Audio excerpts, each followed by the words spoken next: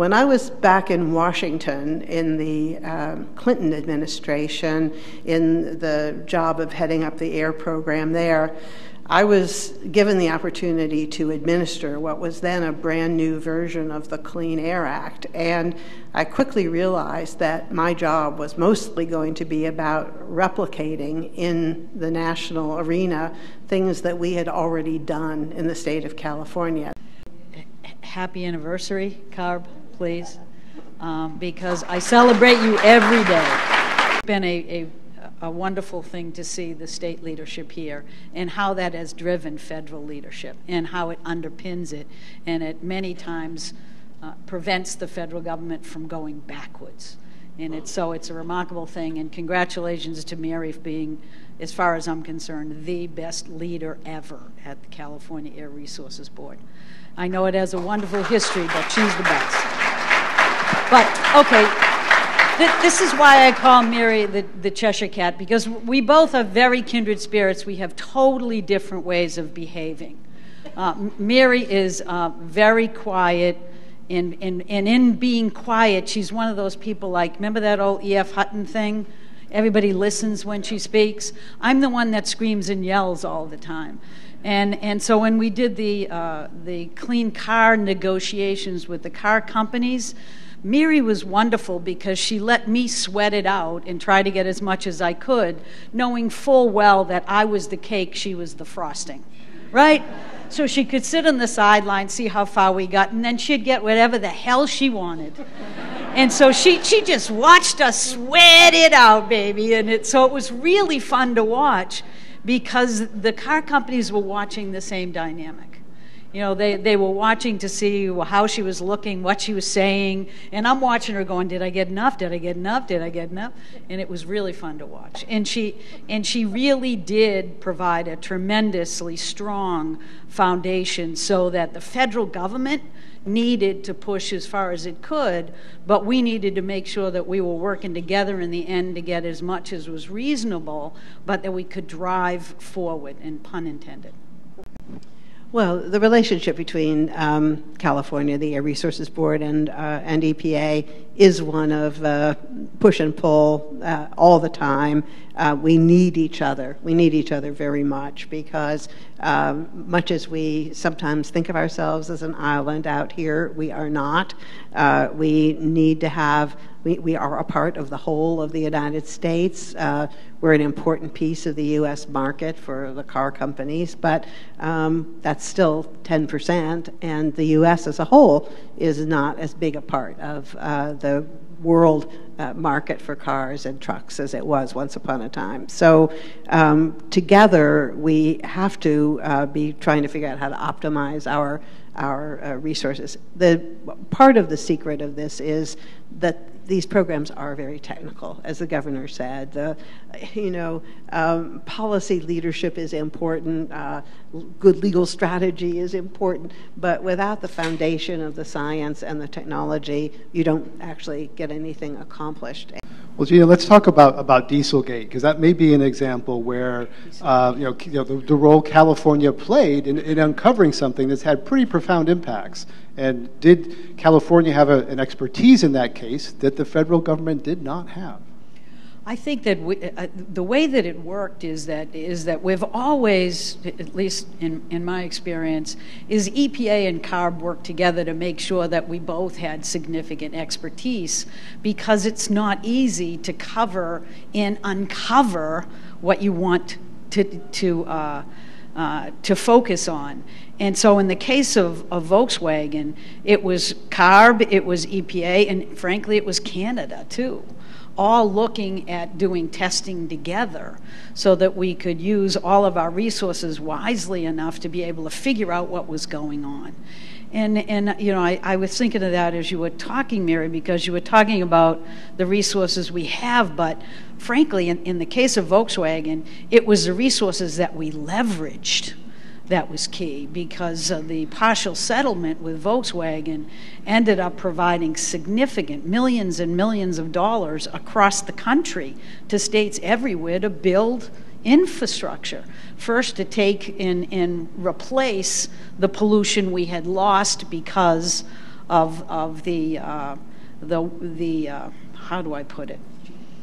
The cheating. That's a, I guess I can say that now.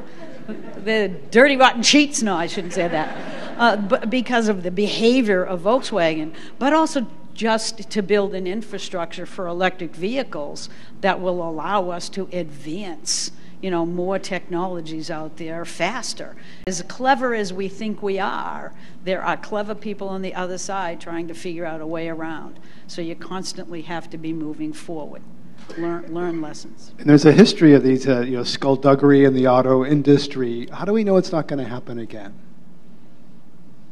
We don't. It will.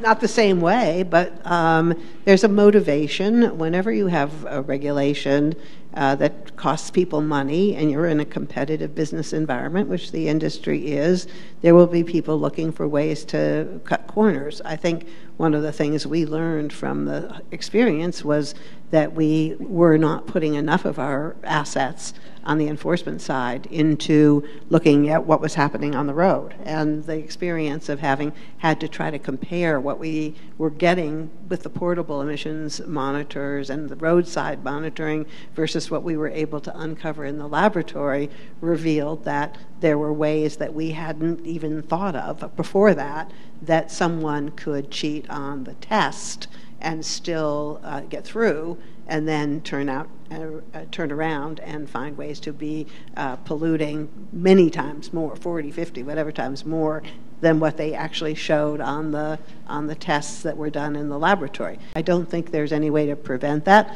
The good news is that most companies most of the time follow the rules because the consequences when you are caught as the Volkswagen business showed are so enormous that most companies wouldn't risk it. Um, one of the easiest examples that's often um, I think, I think forgotten because we take it for granted now, um, but it was a big fight at the time, was getting the lead out of gasoline and out of other parts of the environment. Probably from a public health perspective, that would be counted as the most important thing that we did. And all of the areas that I would count as failures, or I hate to think of them as failures, but let's just say room for improvement. How are we going to improve? Um, probably the biggest challenges still have to do with again, Governor sort of captured this at the beginning. It is the fact that we're still driving so much and that so much of our not only our pollution emissions but so much of our economy seems to be based on you know physically moving things around in large heavy vehicles but we're in this age there's a lot of excitement now about uh, connected autonomous electronic shared vehicles, which is reducing the friction, reducing the costs, increasing the convenience of getting around in a, in a car, Gina McCarthy, where you know, VMT is go, can go up. There's sort of a utopian and a dystopian version of, of what that looks like. What does it look like to you? Well, you know, I, th- I think at a time when we're doing an anniversary celebration, we ought to give ourselves the luxury of recognizing just how far we have come as well as how far we have to go you know, because we've spent, you know, I've spent a lot of time working with California on issues. And one of the greatest gifts I think that California brings to the United States is the fact that when the federal government takes a break, they don't. You know, that, that's the issue. And right now, I would be totally embarrassed in every meeting I ever went to with anyone in any other country were it not for the visibility of states like California and cities in our businesses to keep moving forward. That, it, that speaks volumes about the resilience of the people in this country and the fact that we are a democracy. And no matter what happens in Washington, we can still cut our own path forward and that we're not going backwards. That's what California means to me. That's what I think it shows to the rest of the world. And so while we can talk about VMTs, look at the, the air quality improvements across the United States and in particular in California. Yes, it's very difficult now that the pollution is more insidious and less visible. But if you look at how far we've gone, including the eh, Cal EPA and Matt, all the wonderful people there, and look at the, the, what you have done in the energy world, where you decoupled first, where you moved forward to, to take a stance on clean energy that changed the entire dynamic in, in the West. If you look at it, we are in the midst of a wonderful market transition in clean energy that even this administration can't figure out how to stop in Washington.